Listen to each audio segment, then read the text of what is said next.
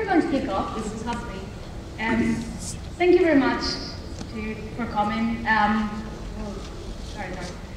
Thanks very much for coming. Uh, we really appreciate that it's the last day of South by Southwest Interactive. It's half three and it's 3.30. And uh, there is a guy from Twitter talking in the next room. So I'm, actually amazed that you're all here. Thank you so much. This is the session, as we said, that works better if you guys are closer together here at the front. So if you're sitting in the back you'd like to a closer to us, we really appreciate that. Let us introduce ourselves, first of all. Um, we are Bernard, there. Um, Belen. And we'd like to welcome you all to our session that is called Put Yourself Mobile Usability Testing, and that's the Twitter hashtag and all that stuff. Um, just in case you didn't guess that from the title of the session, this is a session about usability testing, which according to Mr. Jeffrey Rubin and Mrs. Dana Chisnell, is a process that employs people. People. So I wonder where can we get some people? Yeah, not people there. People! So it looks like you are the only people in this room. So we're going to have to ask you to help a little bit. And for that, we have put together a very strict and very scientific screening exercise that I'm going to ask you to go through with me. And the first thing I'm going to ask you to do is to stand up. So please, everybody, can we have some light so we can see them a little bit? Everyone, please stand up. Come on, we don't have a whole day. The next thing I'm going to ask you is to take out your cell phones so we can see them. Cool. Now, the next step is pretty tricky, so please pay attention. Ready?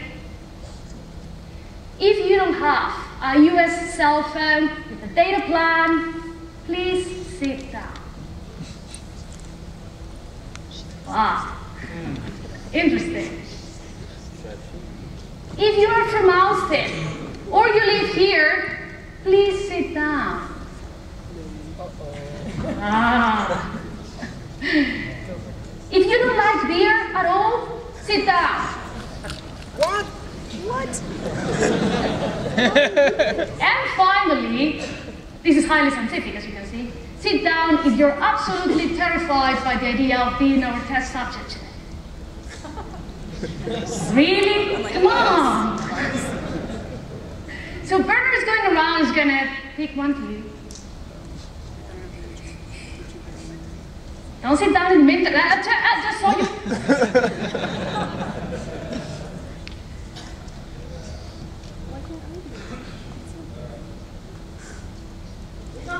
We got one. Now you can relax. You can sit down. Thank you so much.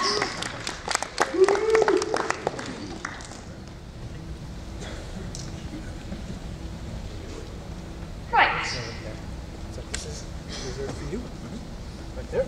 Thank you very much. So now we can really start the whole thing. I'm sure this sounds, this looks familiar to all of you here. This is a video clip from my usability testing session. Look at the poor guy. The prototype we gave him doesn't make any sense at all. Um, we used an interactive prototype for this um, particular test, but uh, you can also test uh, software that's in production and it has already been released. You can also use paper prototypes, and that's something that for mobile works quite well because you don't need to worry about, about how to put the prototype into the phone. This is not a session about prototyping, and for the purpose of this session, we're going to assume that you have either a piece of software or some sort of interactive prototype that is running on a mobile phone. As you saw, we often record our usability testing sessions, and this is why. Because we have like a backup, a backup to our notes that we can go and check if there are any questions about what happened in a specific session, and because video is also a very powerful communication tool. So I don't know about you, but what has happened to me in working with clients is that even the most skeptic people, even the people who doesn't want to believe, who don't want to believe that their software might cause trouble to users, will actually accept the reality when they are faced with real people having real trouble doing real things with their piece of software. And it's because video constitutes unequivocal evidence of the existence of usability problems with a piece of software. But personally, I record also for a third reason. And it's because video has proved to be also very powerful in generating empathy between the design and development teams and the people who are they are developing and designing for. You see, the end user is like a blob. It's like an abstract entity. It has no face. But when you show the development team or the design team clips from usability testing sessions, all of a sudden that abstract end user gains a face. And these things happen, this switch happens in, in people's brains, and they start, people start saying things like, oh my god, you remember that girl who couldn't find the button? Do you think she will find it now? Do you think she, it, it, the button is where she would expect it to be now? So this is a really powerful effect. And we have, I, I have tried to generate this effect in the past with personas, but to be completely honest with you, where my personas have failed miserably, I've been successful by using video clips from sessions. And that's why I try to record every single session What do we record? We record, excuse me, actions and reactions. Sorry.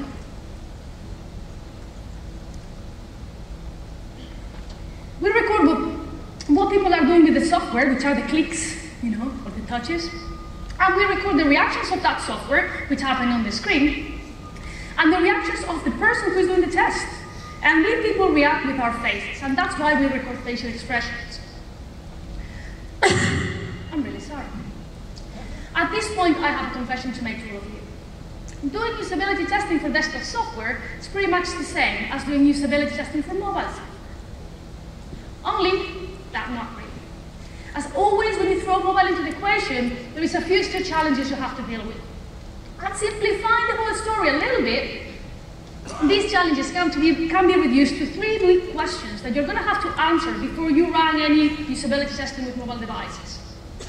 Which phone, which context, and which connection. Now, if you're expecting me to give you the right answer to these questions, I'm going to have to disappoint you guys. there is no answer. There's no fixed answer to these three questions. It 100% depends on what you're testing and what, and what are the goals of your test. But there are a few things we can tell you about these three questions that hopefully are going to help you to make the right decision. Let's start with the first one. Which phone?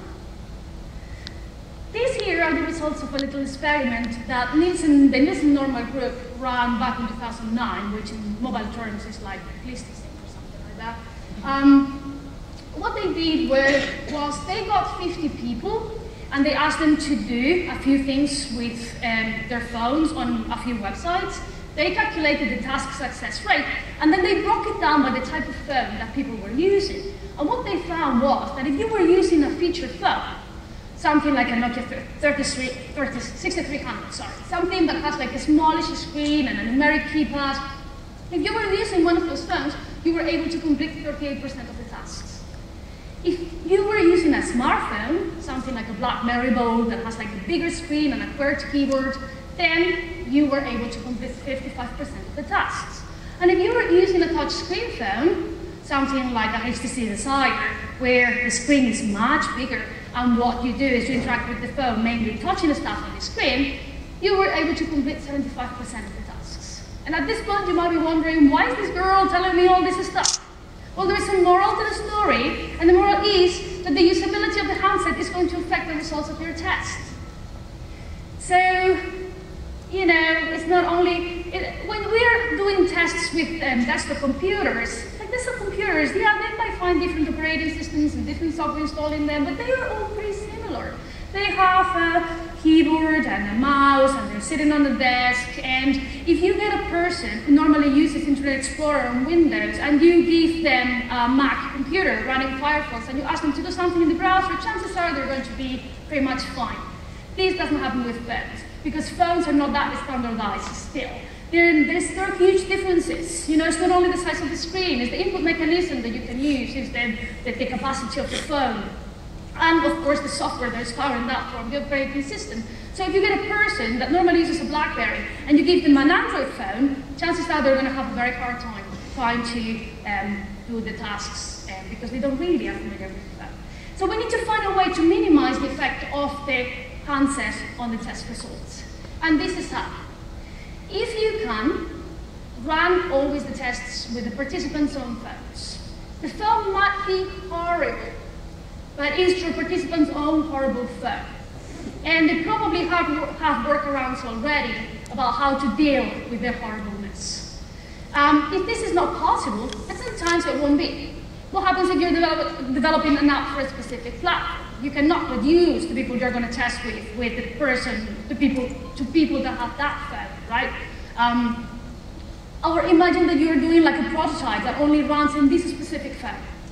Well, if you cannot use your participants' own phones, you should include training and warm-up tasks. And those tasks you will do before the test, and they'll allow the participant to get familiar with the device. They're, they're get used to the device they're going to be using. So let's go to the second question. Which context? And this question is this, about this old controversy about where should we run tests, in the laboratory or in the field?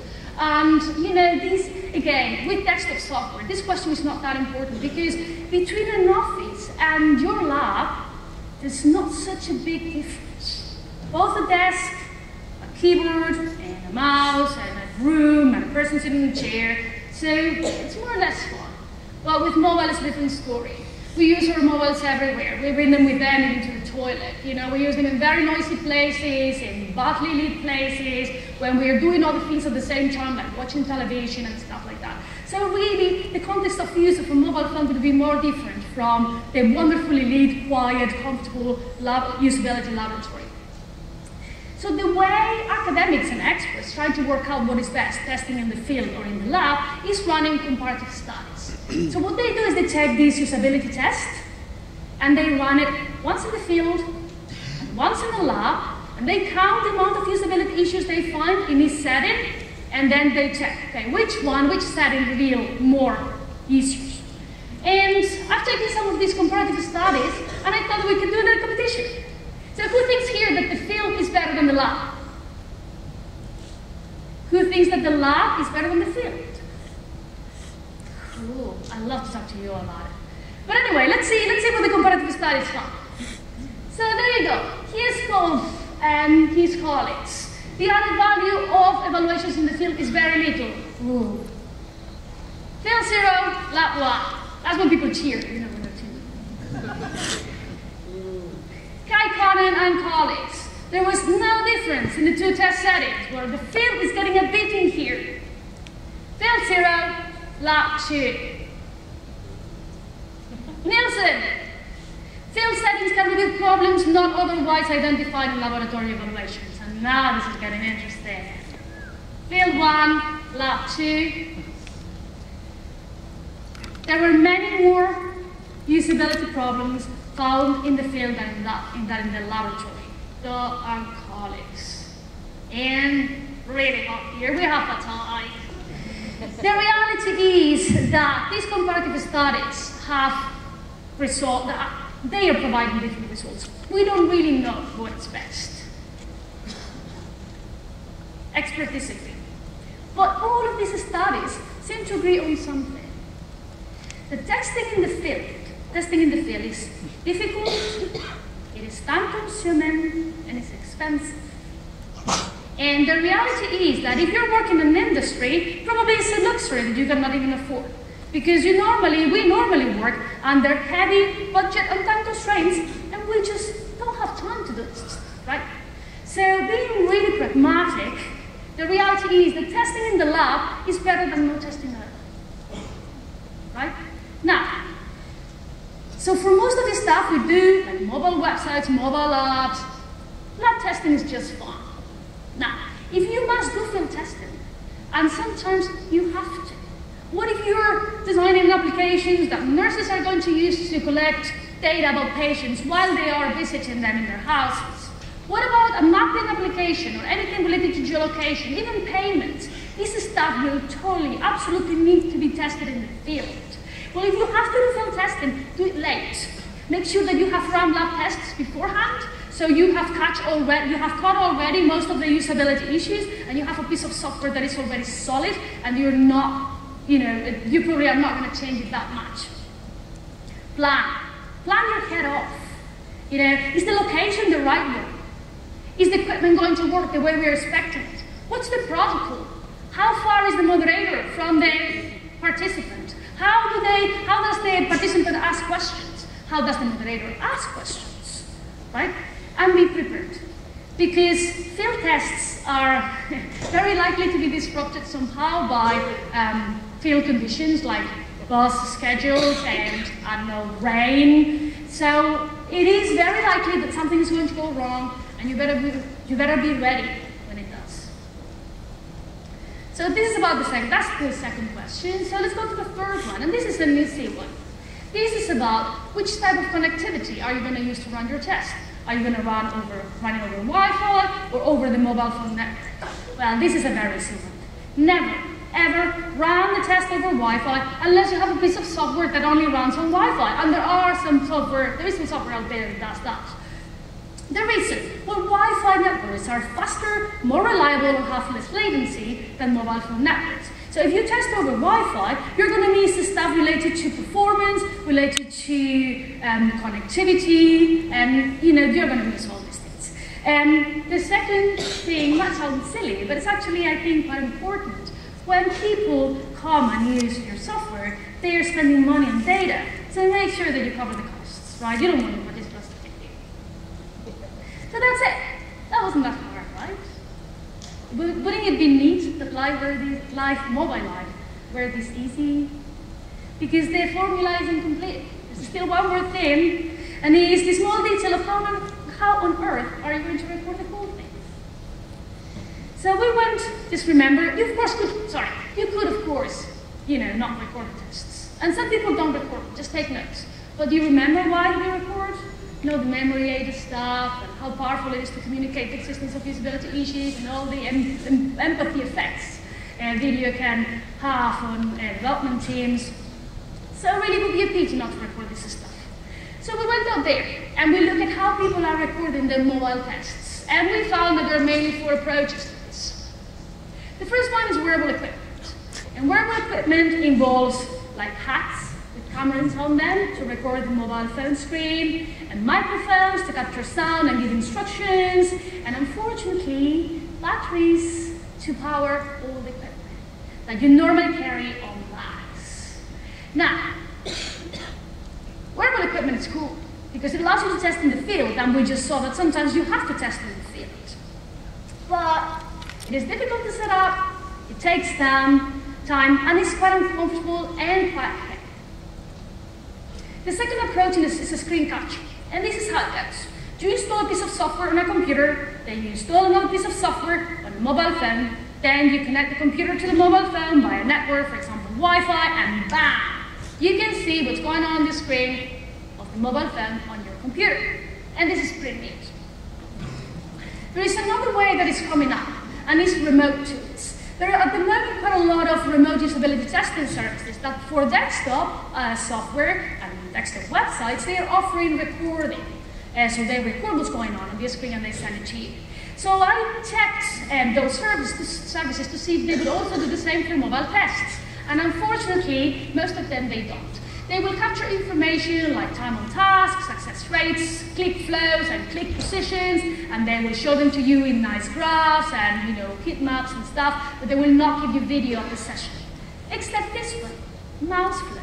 And MouseFlow is not a really a remote testing uh, software.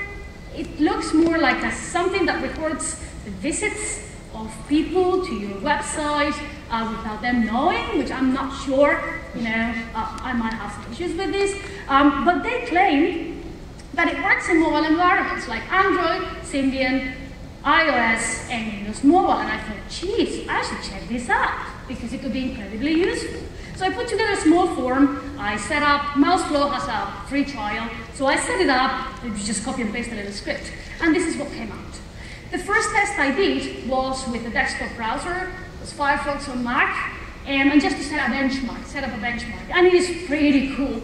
You can see everything that's going on. You can see where I click, what I'm typing, although password field are protected, and you can see that I've submitted the form. Nice.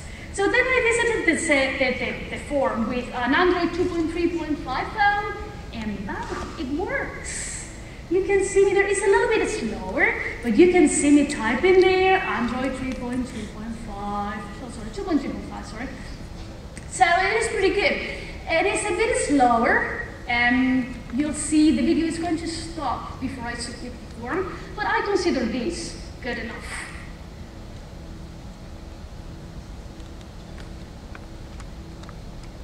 You see, you cannot see how I submit the form in there. But everything went a bit downhill from there. I then visited with uh, iPhone 3G that has uh, iOS 4.0.1. And well, it just got a bit weird. It did nothing for about 16 seconds, and then when the first text field goes into, focus, this is gonna happen. And then you don't see anything else, and it just, you know, it's very clunky. I also visited with a couple of Symbian 3 phones and an Android 2.3.2 phone, and um, no visits were recorded. So this is a very interesting but it seems to me that it's not there yet. So what is good about this approach? Well, at least with the traditional one, where you install an application on the phone, this is going to give you really good, high-quality screen recording, and this is great. But it basically means that if you use one of these applications, you're not going to be able to run the tests with your participants' own phones because people don't like you installing stuff they don't know what it is on their phones. It's also going to be impossible to find an application that is going to support all platforms. The one I showed you before, it's called Mobiola, and it works on BlackBerry and Symbian 3. And this is one that is offered by a company, Ovo Studios, and it works on iOS. But there is no such an application that works on Android, for example. And for touchscreen phones, this approach has another problem. And this is a video from Ovo Studios, and I don't know if you can spot what the problem, if you can spot what the problem is. We don't have the fingers. and that means that to understand what's going on, we have to rely on the very fleeting pressed state of the interface objects. And it makes it, this makes it really difficult to understand what is happening. I don't normally use this type of software to run my tests, so I wasn't sure how big a deal this was. So I went out there to see what people were saying, and it seems to be a big deal. Obviously, think aloud is critical because I cannot see how the participant is interacting with the fingers on the touch screen. And the good guys from CX Partners, which, who came up with a really cool setup for recording tests on iPad, are actually starting to doubt the value of recording the screen in this way. So this seems to be a big. The third approach is document cameras, and this is it. You buy a document camera, which is a camera that is stands on a desk and records documents or a mobile phone screen. And this approach has been used by a lot of famous people like Scott Waits and Google and Nielsen Norman Group. Um, and there's even remote services. This is usertesting.com. And they have a mobile testing service that is using this document camera approach to actually give you video of tests. I, I asked to do this test with the MIT uh, mobile website. I got the video back in about 15 minutes. It costs $31 per test, but you can get cheaper rates if you buy loads of tests. So I thought this service was pretty cool. I have nothing to do with this guy, by the way. I just tested this service, and, well, it works. So the good things about using document cameras is going to give you pretty decent screen recording quality, and it's also very easy to set up. But document cameras are not particularly cheap. So if you're, you know, a bit stuck with cash, this might not be a good option, although there are some cheap stuff out there. This is an IPEVO camera, I have one of them, it's good, it works. But the main problem with this approach is that participants have to keep the phone within the document camera range. And you're going to normally, you're normally going to mark the range with something like tape on a desk. So imagine the situation. You have this guy who is already quite nervous and self-conscious because he's doing something you have called a test. Using a mobile website or a mobile application that I've never seen before makes no sense whatsoever while someone is watching. And on top of that, they have to make sure that they don't move the phone like, you know, they have to keep it within this funny square because otherwise they're going to ruin the whole thing for you. So, you know, this is a situation I would like to put anybody. Maybe my worst enemy. and then the phone has to be used either lying on a desk or um, at a really flat angle. Otherwise, you're not going to see anything. And this is quite unnatural. We don't use our phones like this. We use them like this. So it is a quite a natural position. So the fourth approach is mounted devices. And this is some sort of rig that attaches to the phone and has one or two cameras clipped to it. So it records the screen of the phone and sometimes also the face of, of the participant. And you have them ready-made, you go buy them, and you have them DIY, do it yourself. And these are some of the ready-made stuff that you can buy out there. And these are the four illustrious uh, DIY mounted devices that were out there a couple of years ago when I started to research this stuff. Boy, things have changed. Now they're everywhere. Everybody's building this stuff, and that is just amazing. Mounted devices are really good because they solve the problem of docking cameras. They allow participants to hold the phone one-handed, which is a much more natural position. But if you buy them, they're not cheap. Now, to be fair to these guys, they probably sell you not only the rig, but all the other stuff you need, right? But still, it's not cheap. I couldn't afford this. Although, again, some people there to the rescue. This is very new, just came out in March. It is um, mounted device that you can buy for $300. they're also, if you're doing it yourself, they can be a bit messy to build, especially how to put to, how to synchronize and merge the different video sources that you're going to be using from the camera, from, from sorry, from the phone screen and from the face of the participant, this stuff. And if they're bulky, they can prevent people from using the phone single-handed. If they're heavy, they become really tiring for the participants, and I have seen this happen. So, when we got to this point, we looked back and thought, well, all these solutions are great, but none of them seem to tick all the boxes. So we sat down and thought, okay, if we could have the ideal recording setup for mobile tests, how would it be like? What does it need to be? How does it need to be? And this is what we came up with. It needs to be easy to put together and cheap, so anybody can do it, including these small companies that are like a big percentage of the people doing uh, software for mobile phones has to be repeatable. So if it breaks, I can build a new one, new one quite quickly, or get a new one quite quickly. It has to allow natural interaction with the phone. That means that it has to allow people to hold the device one-handed. It has to support all form factors. You know, it is great to build something that supports only iPhones or Android phones, if that's what you do. But, you know, here in the States, 50% of people still got make do with a feature phone. And maybe, you know, we don't want to exclude those people from our tests. So we need something that's going to work with all types of phones. That is going to allow you to run tests with their own, with the participants' own phones.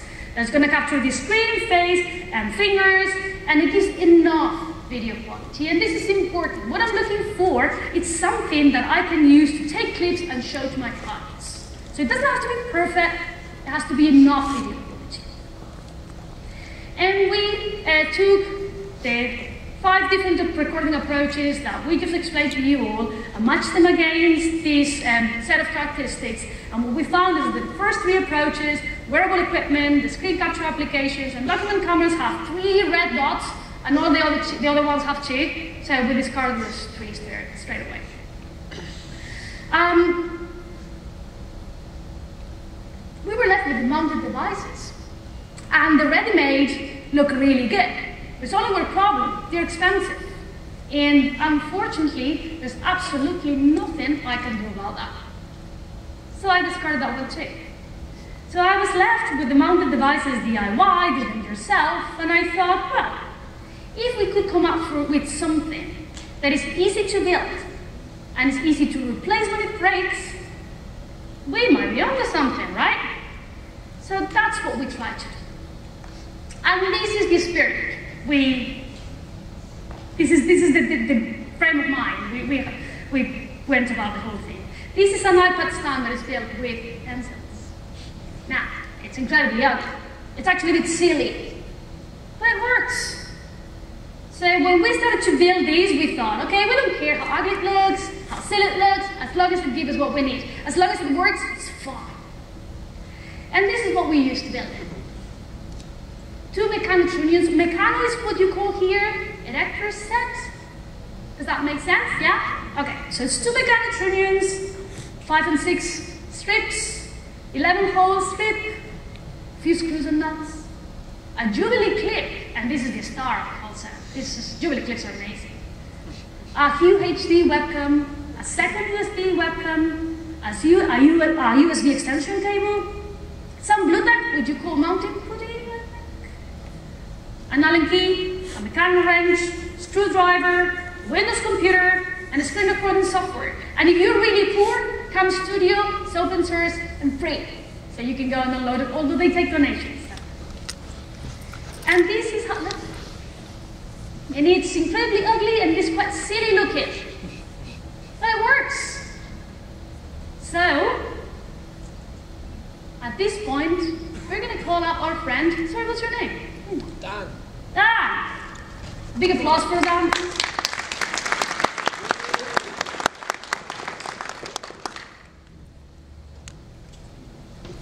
Ooh. Oh, something happened there. I need to show you this. So Dan, I'm gonna ask you to put this on.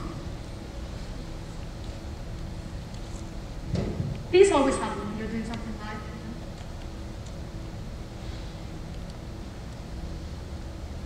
I'm not gonna put this on. I need to connect this to There you go. And you need to click this somewhere. Oh, great. It's there. Aha! You will all see me put in my password. Don't look. Close your eyes.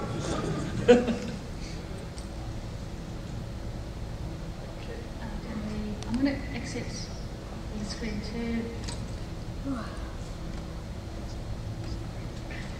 Right, can we see what's going on with Dan? Dan, take a seat.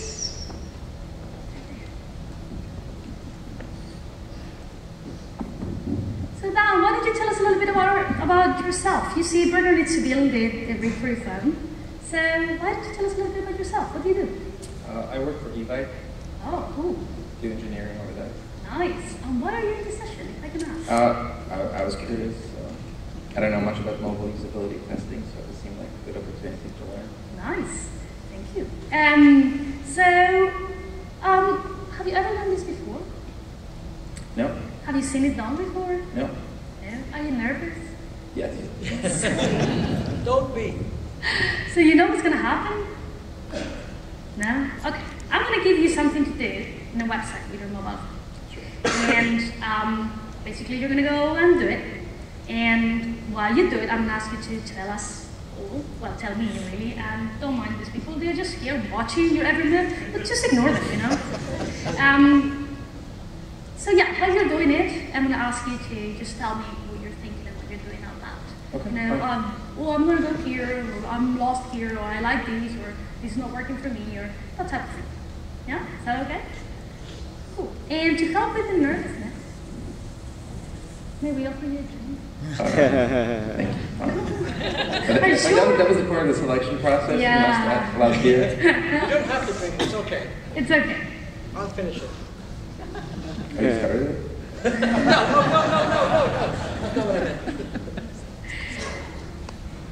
So tell us then, do you normally do usability testing on eBay? Uh, not eBay, eBike. eBay, sorry. Yes. We do usability testing. We, uh, we kind of done, done a version of what you described for lab testing, have people come over and observe their interactions. Okay. More of a uh, kind of a focus group interview Okay. methodology. And do you think that's useful? Uh, it is useful. I, I'm actually surprised that you're focusing so much on mobile web uh, because what, what we are interested in mostly is uh, mobile applications. Okay. So- Well, this works for both mobile apps and mobile web. Mhm. There's really, whatever runs, whatever is running on the phone, you can test. Um, cool, and can you tell us an example of something that you learned through usability testing, maybe? That I've learned today. Uh, no, not today. Um, like in your company. I. I don't really focus on usability testing, so I can tell you directly we have uncovered specific problems related to um, our mobile website or the application and kind of learn from that. Okay. Um, user feedback is very, very useful as well. 'cause Users will, will tell us what they don't like and what, what they want to change. Okay, and how can you think of an example of what that off the top of your head? I, I couldn't give you any specific right now. No. So, where are you from?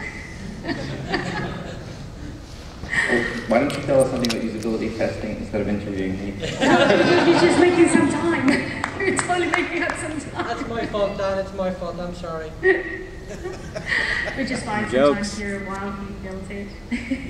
so how how is how how's been South by Southwest for you? I've enjoyed it. It's been great. Yeah. Was it your first time? Yes. Yes. This was my first time too. I liked it. It's nice. Have you considered putting together these kits and selling them? Sorry. Have you considered putting these kits together and selling them? Not really, no. Um, you know, this is a bit of a um, Our, our approach more is open source and just allow people allow people to do it themselves. Um, Do you have the instructions? yes, everything is all on the website, which is going to be uh, um, sent around, um, and it really is. You can buy it yourself. I mean, of course, if you want our help, you know, please contact us. But um, it's not really a money-making um, venture for us. It's more just get this out and get people using it and making it better and changing it and mashing it up and um, so finish. ta-da. So Sorry for taking so long.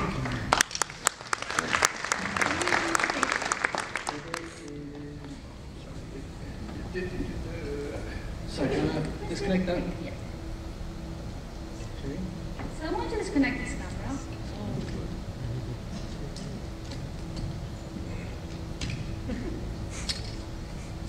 That's- So I have, oops, I have here the rig built, a USB cable. So I'm just going to plug the USB cable extension to the camera. I'm going to plug the camera to the virtual machine here. And I'm gonna tell it to connect to Windows. It's gonna go connect. Lovely. And I'm gonna fire this little program called AMCAP. AMCAP comes this huge HD camera and it's pretty neat. And I'll show you why in a minute.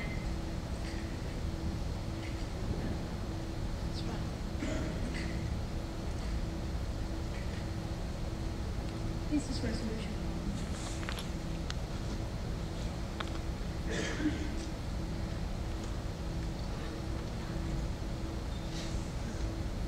Sorry, guys. This happens when you do stuff. Okay. There you go. Now, if we turn this on, the screen is the other way around. So we need to, to do some jiggery pokery here. I'm going to go to options, video capture filter, and I'm going to mirror and flip this. The reason that we're showing you all of this sort of, you know, little changes is because, I mean, this is what you're going to have to do to, to get it set up um, the first time. So it's better, we think, to show you than have you scratching your head going, how the hell do I do this? Because, you know, And this is the neat thing about AMCAP. It's going to allow you to run more than one instance at the same time. So I'm going to fire this again. I'm going to go devices. I'm going to select the Philips camera that I have here. And this is going to show us that face. There you go. you're famous, Dan, you're on TV. So there are a few things I want to ask you to do. Let me come this back. Can you unlock the phone for me? So everybody can know my security No, code. it's okay, you get it.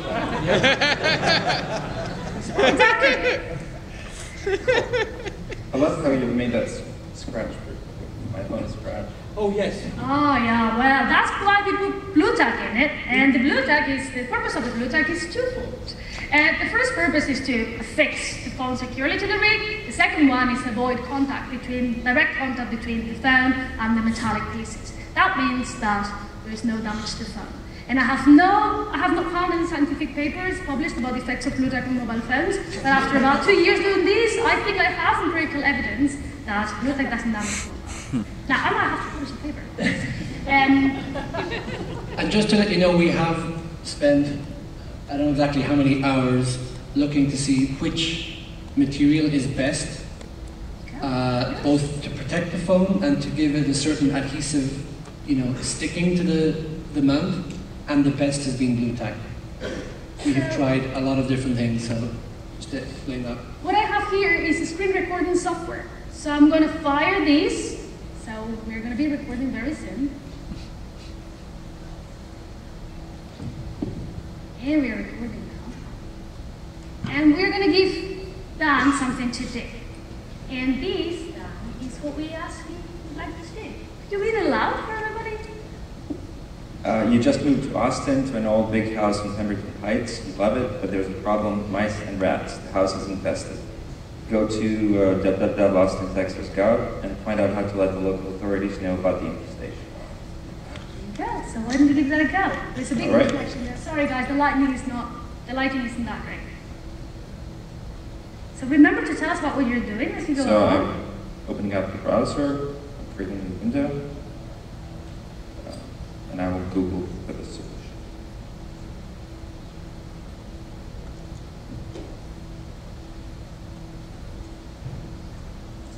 Oh, I have to go to the, the government website. I can't Yeah, use would you Google. mind? Would that be okay? They're really making this difficult. Hey, free beer, man. Come on. Would you like to hold the phone? Maybe that thing um, makes it easier? There you go. Take your time.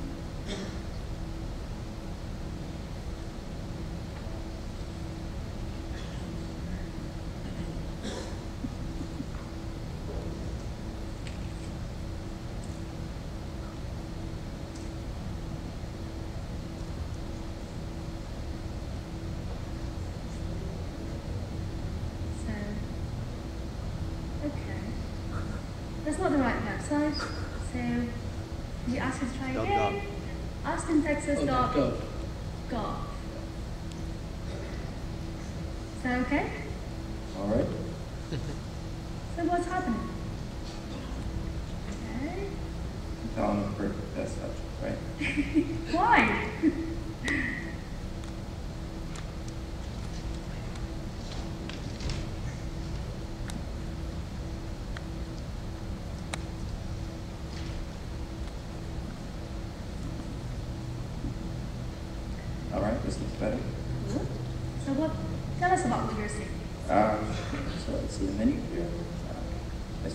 Services, or maybe departments.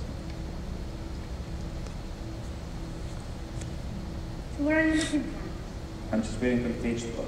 Okay.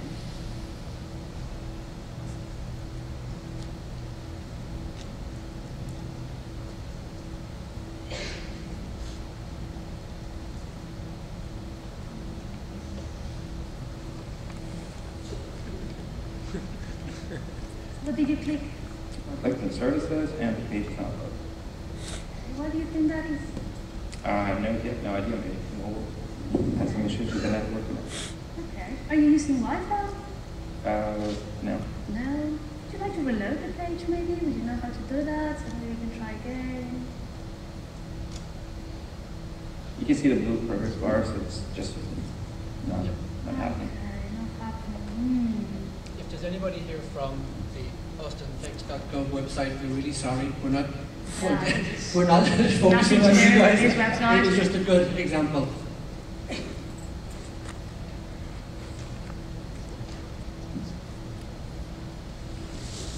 Not working at all? Nope. No. you tried any of the links? Hmm. Well, we're gonna leave it at that. That's a bit disappointing. well, we're gonna leave it at that. Okay. Dan, thank you so much. You're welcome. Very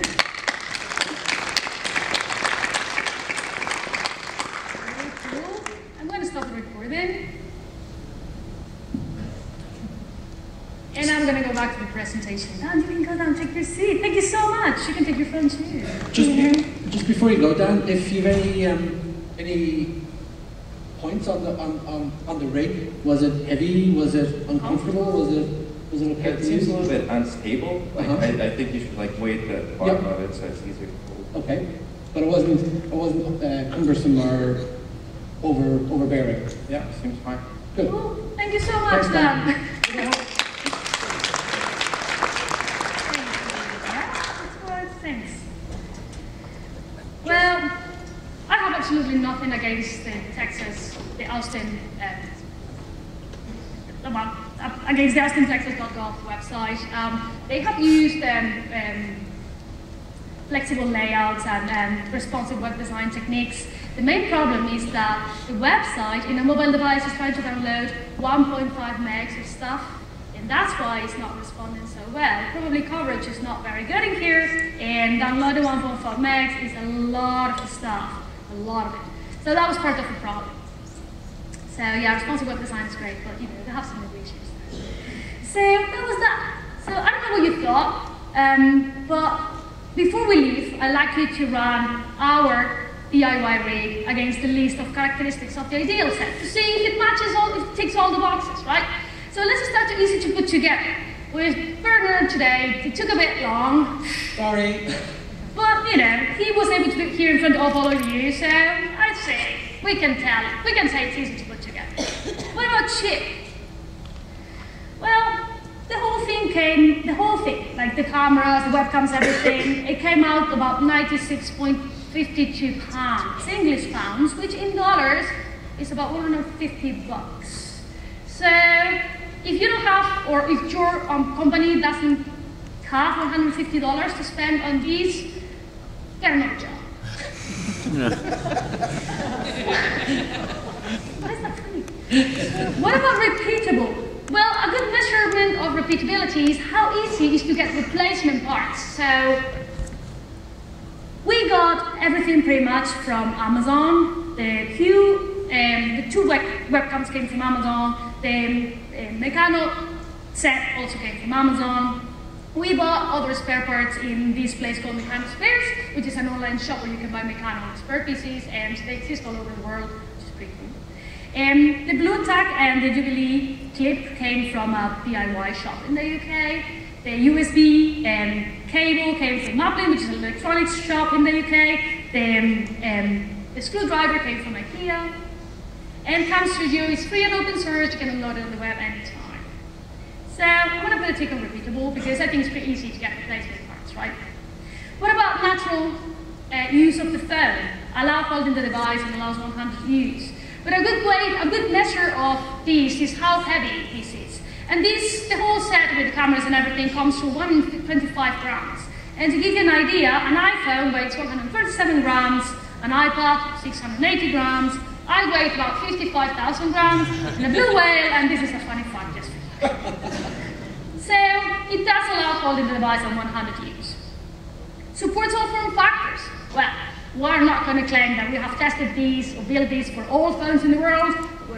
We have built it already for a few phones, including candy bar phones with numeric keypads, candy bar, candy bar phones with uh, QWERTY keyboards like BlackBerry, touchscreen phones like the Nexus um, S, and something that is a really weird form factor, which is touch screen phones that have a QWERTY keyboard that slides in the horizontal direction, and like the HTC Z or the Nokia N900. And this is the rig built for one of those phones, which is probably one of the most awkward form factors in the market at the moment.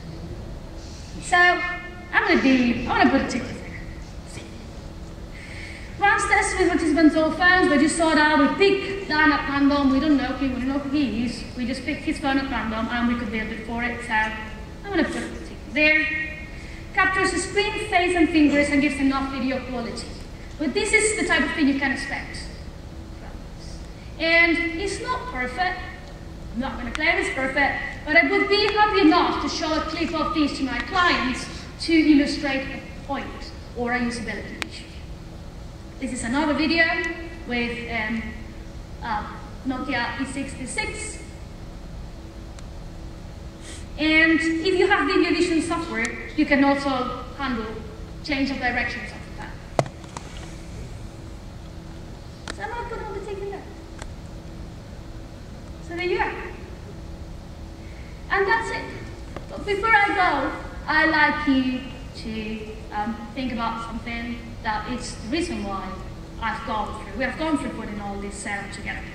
You see, when it comes to desktop software, I think we can, we maybe can afford not to do usability testing. You know, uh, we have experience designing desktop software, um, we have done it before, and there is a well-established set of design patterns that have been proven to work across different platforms. Mobile is different.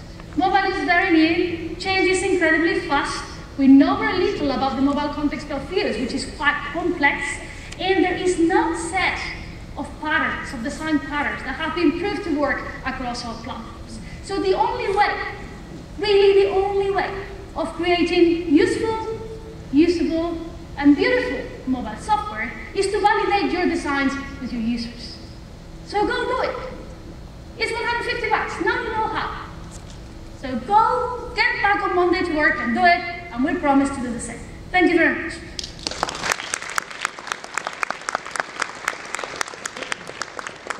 So we've got a little bit of time left. If anybody has any questions or criticisms or anything we'd love to hear, there are microphones, I think, somewhere.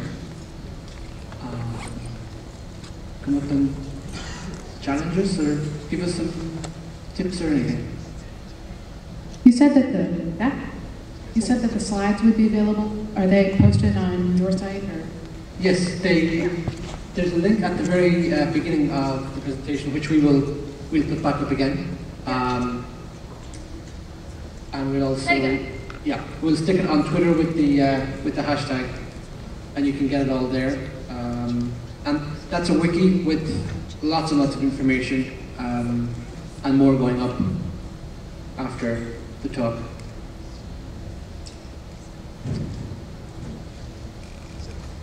No more questions? Oh, here we go.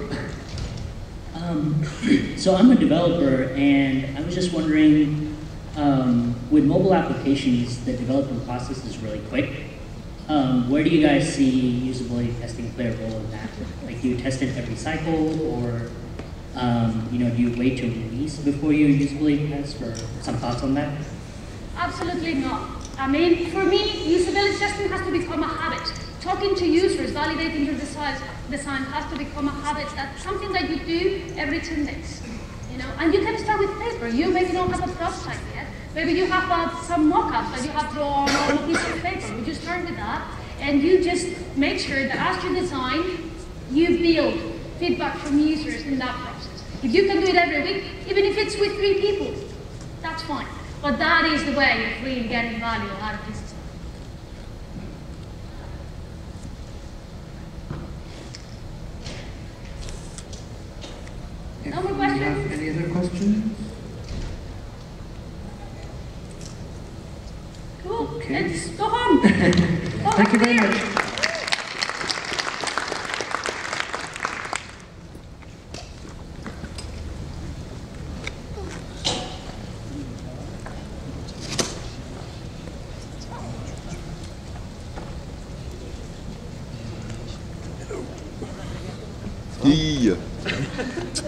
trouvé un téléphone ou quoi Non. Tu t'as acheté un Non, je que tu as Ouais, juste mon iPad. Et ta main T'es gonflé, hein Tu es devenu fou.